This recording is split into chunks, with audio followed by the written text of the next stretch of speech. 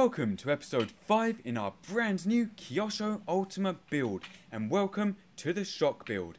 In the last few episodes you saw us put together the rear diffs and the front and rear assemblies including the shock towers and the steering mechanisms and mount everything onto that amazing Ultima chassis and this is the result which is shaping up to be an amazing model. Now in this episode we'll be taking the build one stage further with the shocks and adding some colour with these awesome cherry red shock bodies and the shiny shiny golden black springs which will look amazing. And I should mention you will also need to buy some shock oil for this kit too. But let's get started. What we have here are all the little bits and pieces and components which will make up our shocks. We've got the red plastic parts as well as these, the amazing shock bodies. And look at those, like little red shells of goodness. And I guarantee you, we will scratch these in the first day of running. Now you'll note that unlike most shocks, where the bottom and top ends unscrew, these are actually completely closed and sealed on the top. So that whole red casing including the top mount for mounting it onto the shocks is a single section of material and this bottom silver bit here unscrews to let you assemble and fit all the insides through there. So it will be interesting to see how these go together. Also note, you have two different length shocks, long ones for the rear and short ones for the front. And again, straight away you can just feel the quality here. Threads are so so smooth not like some of the cheap ones you get which snag as you're unscrewing them or screwing them up and have pitting on the threads. This is good material and good manufacturing which is just nice to work with. You can also see a little flat bit here and we'll see what this is for in a minute. And again we've got these plastic parts here. So the first thing to do, and a cool little extra stage of this build, is to build your shock tool. In bag E, we have this little star bit here, with these two flat faces on the inside, and this will fit inside the handle grip part here, which will act as a little finger spanner. But first, the springs, and look at those.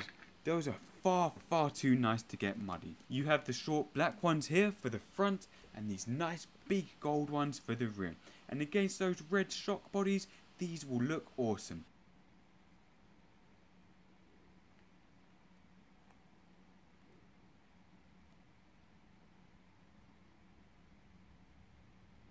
Quickly, if we assemble our other tool, just take this part, stick it into the spanner, and this, as you will see in a second, acts as a protective sleeve for the shocks. And that bit just clips in there like so. Now interestingly, both these trees are identical. You can see the same parts on both and this is great. It means you'll have a good amount of spares out the box. And what we need to do first is this little star bit. So if we cut this off and then simply screw the metal part onto it. So you can see where the holes line up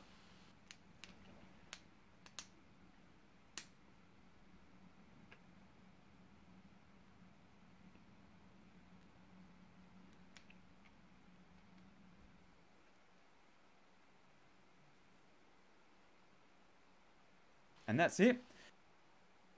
Next, if we get our gaskets ready, or these little seals here,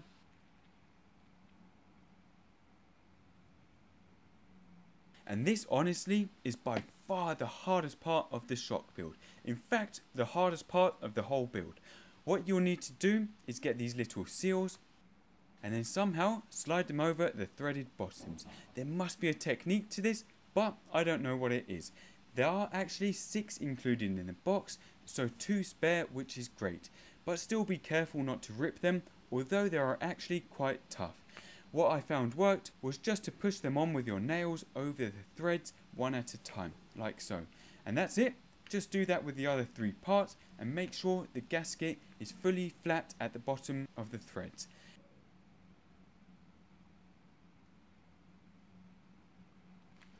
Next, you'll need the shafts. Again, two long and two short.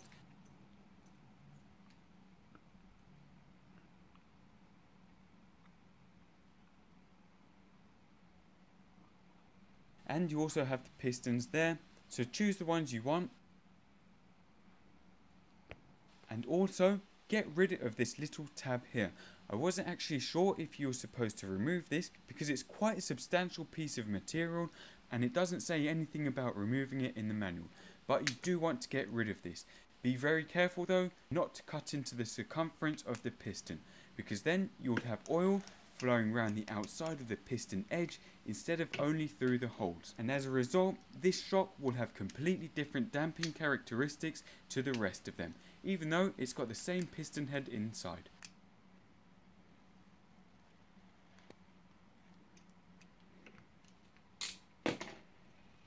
Get your E-clip, put that on, like that,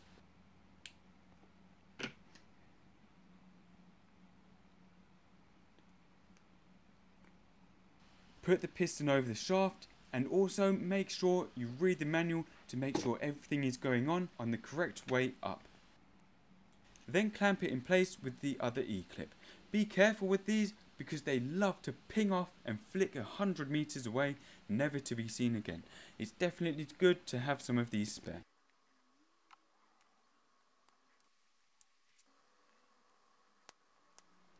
And there you go, easy peasy you will have four shafts with the pistons mounted. Next, you want to get one of these, again on the tree with the pistons, then get the included O-rings. And actually, I like to oil these up a bit just to lubricate and feed them and to help them slip on and form a nice closed non-dry seal.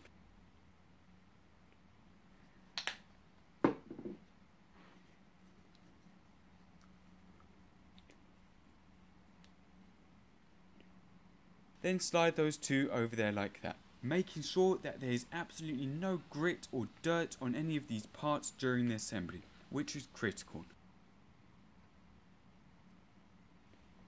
Next, get one of these parts, sliding it on, noting the orientation, because this will finally slide into the threaded bottoms.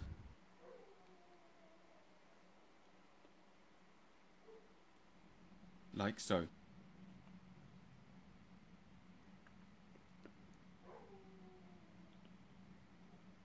Get this little spacer, making sure it's part number QT210R, not a piston as we've wrongly used here.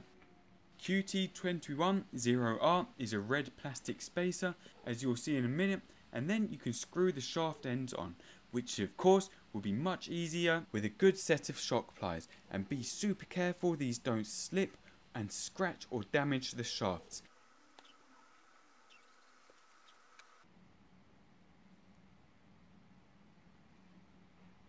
Then get your shock bodies and fill them up with oil.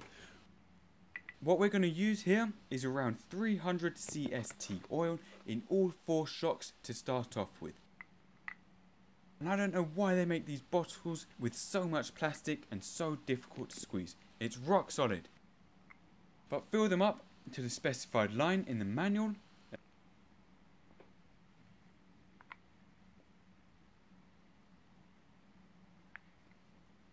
and then you can pop them in the holder tool. Put the lid on with the piston and the shaft assembly pushed all the way in. For now we can play with this later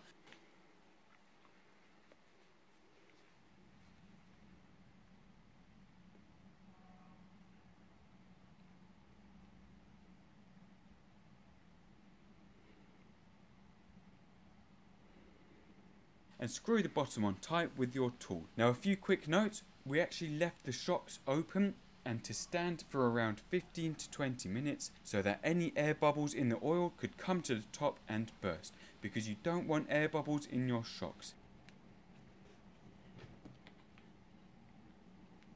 Also, as you tighten the threads, you want to see oil seeping out the top around the threads because this means oil is being displaced by the screw and you want to have only oil in there, not pockets of trapped air. So it's better to overfill them and have oil spilling out the top than to underfill them and have air pockets in them.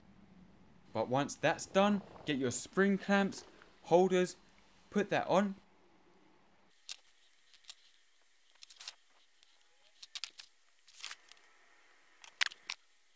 Put your screw in there and slide that over the shock body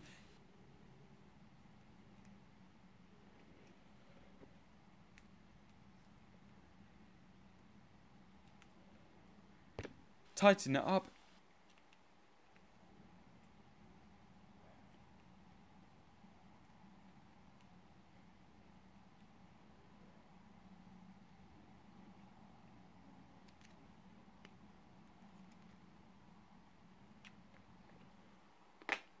put your spring on.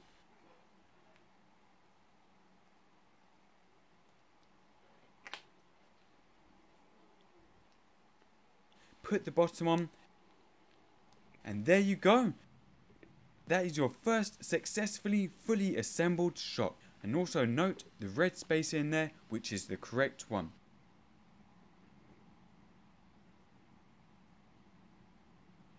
Then you can go ahead and do the same with the rest and you will be left with four amazing shocks. Finally, we can fit them onto the car. You can pop your balls in, but to be honest, I don't think you need the pliers for this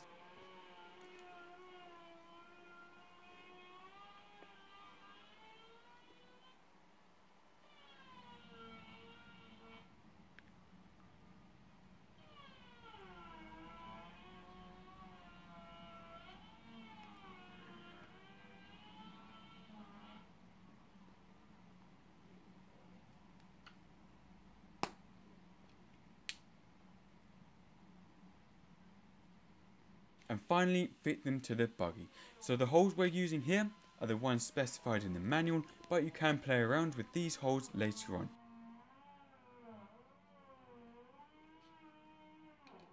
Now on the top you have these plastic balls.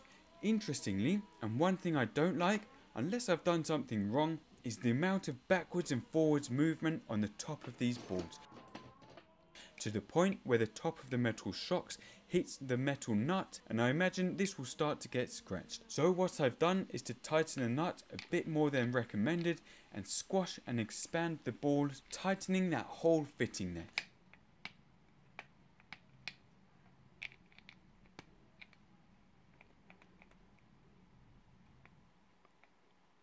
So you can see the top no longer moves backwards and forwards. It can still pivot, but it won't be knocking against the nut. And that's something we did with all four shocks. But don't over tighten them, just enough to stop the shocks moving backwards and forwards. Quickly, do the other three shocks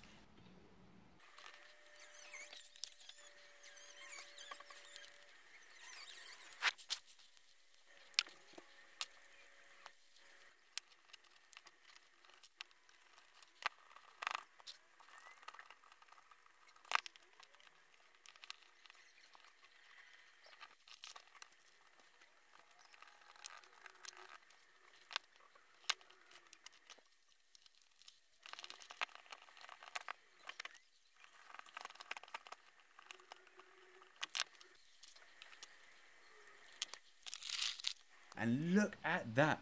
Fantastic. This is such an iconic look right there. And that's it. All that's really left to do now are the wheels, which we'll do next time, paint the body, start fitting the electronics, and you're good to race with the Kyosho Ultima. But that's it, please do subscribe to the launch page of our brand new website which is coming out soon for launch updates and possible giveaways which are coming in spring and keep an eye out for the launch of our mega website. Please do rate, comment and subscribe for more content. Thank you for watching and see you soon.